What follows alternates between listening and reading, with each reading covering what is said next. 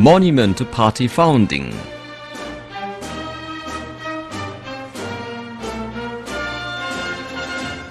In Pyongyang, the capital city of the Democratic People's Republic of Korea, there stands high the monument to party founding.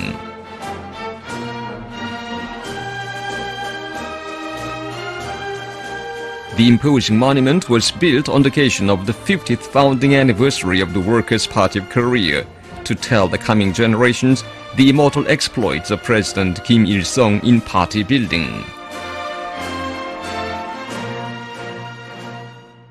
looking across the river straight at the statue of President Kim Il-sung on the Mansu Hill. It is located in the center of Munsu Street with a plottage of 250,000 odd square meters. The monument is a distinctive representation of the Workers' Party of Korea's emblem designed by the president in the days of the party founding. It clearly shows the Juche-oriented revolutionary character of the Workers' Party of Korea that fights for the interests of the workers, farmers, intellectuals, and other popular masses.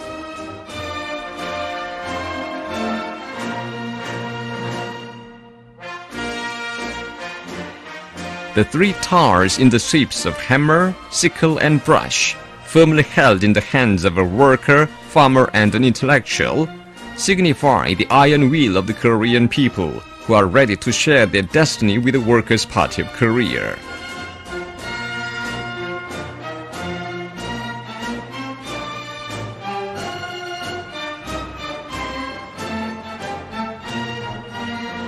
The grand circular belt linking the towers symbolizes the single-hearted unity of the leader, the party, and the masses in the DPRK.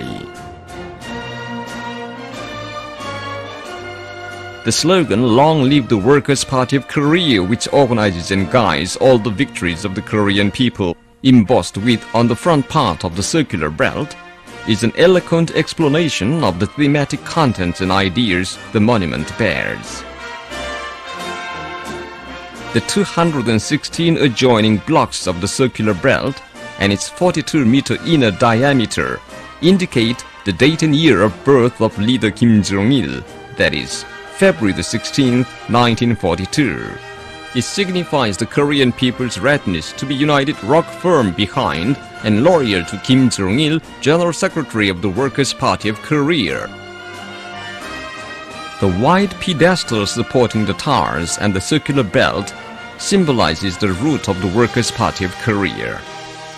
Its 70-meter diameter stands for the period of some seven decades between year of 1926, when President Kim Il-sung formed the Down with Imperialism Union, and 1995, the year of the monument inauguration.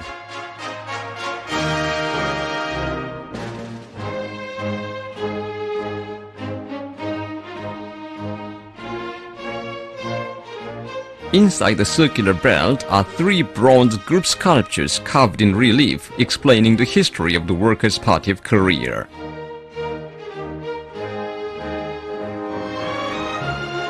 The first sculpture is portrayed against the background of Mount Baekdu.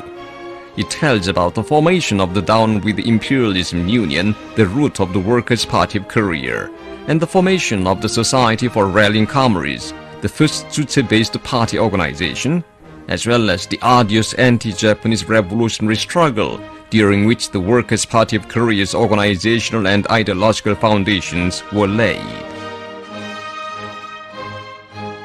It also tells about the Association for the Restoration of the Fatherland that united a vast masses including the workers and peasants under the banner of the 10-point programs of the Association for the Restoration of the Fatherland to cast a firm party foundation among the masses.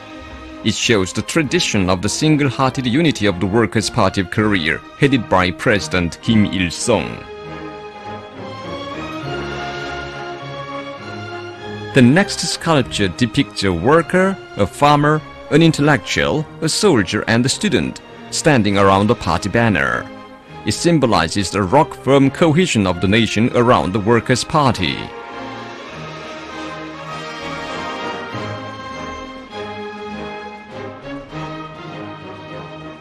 It portrays well the invincibility of the Workers' Party of Korea, supported by the masses, and the noble mentality of the Korean people, who have deep trust in the party and are resolved to follow it. The third sculpture is the figurative representation of the Korean people's advance, upholding the torch of Juche and the motto, Let's defend independence against the world map.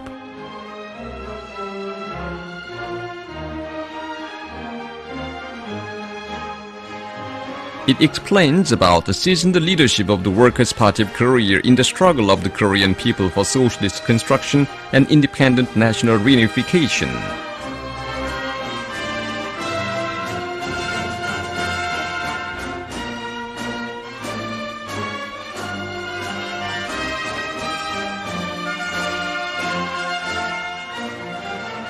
The monument to party founding stands in front of two red flag-like residential buildings built in symmetry, with letters Ever Victorious on top.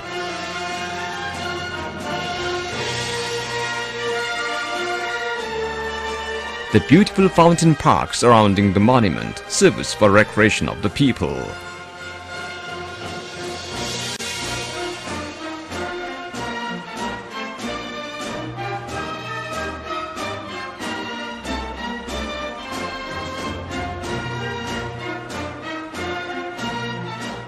Visitors from abroad say, this is the only monument to a political party.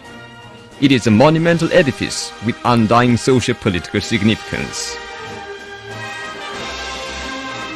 The monument to party founding will stand forever as a brilliant tribute to the immortal achievements of President Kim Il-sung in party building and glorious history of the Workers' Party of Korea, handing them down from generation to generation.